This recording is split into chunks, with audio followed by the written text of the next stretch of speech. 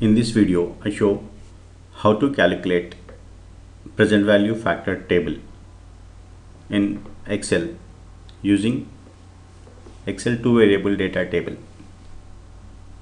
First we calculate the present value factor of for a one year. So to calculate the present value factor, we use a formula 1 divided by 1 plus r to the power of t. So where r is rate of interest and t is duration in years. So here we enter the rate in decimals. Let us say 10 percent.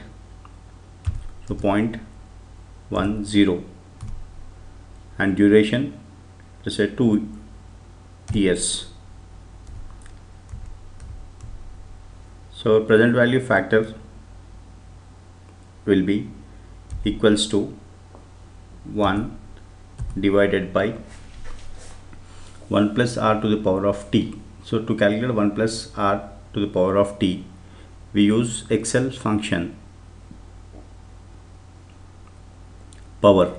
So power 1 plus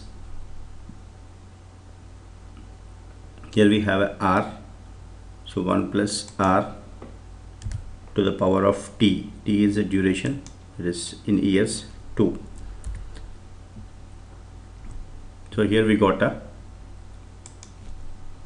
present value factor for one time period and rate. Now to calculate the factor table which we see in most of our textbooks at the end of our textbooks so to calculate that grid what is it we need to do is in this cell we wrote a formula in immediate cell adjacent cell you mention the percentages for which you want to calculate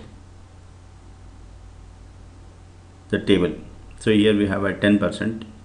So we may proceed from 10 percent to 20 percent. So 0.1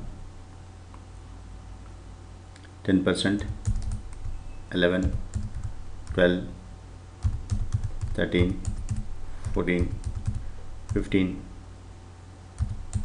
16 17 right. Now as here is our formula in adjacent columns in the same row we mention the percentage that is percentage of interest that is the rate of interest. And in this in the same column we need to mention the years one two three.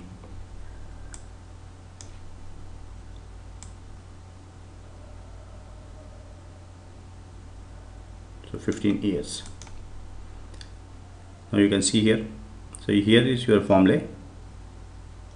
On the same row we mention rate of interest.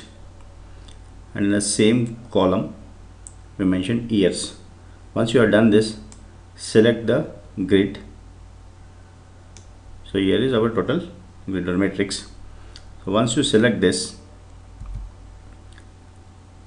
click to menu and go to click on data. In data go to what if analysis. In what if analysis click data table. So in data table asks you to give input row input cell and column input cell.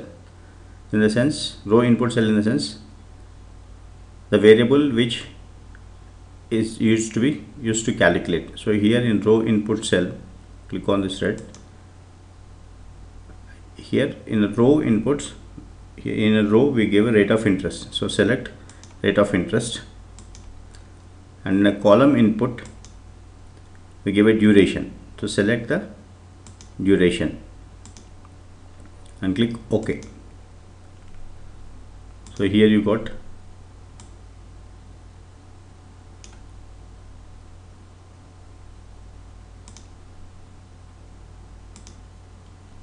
we got the present value factors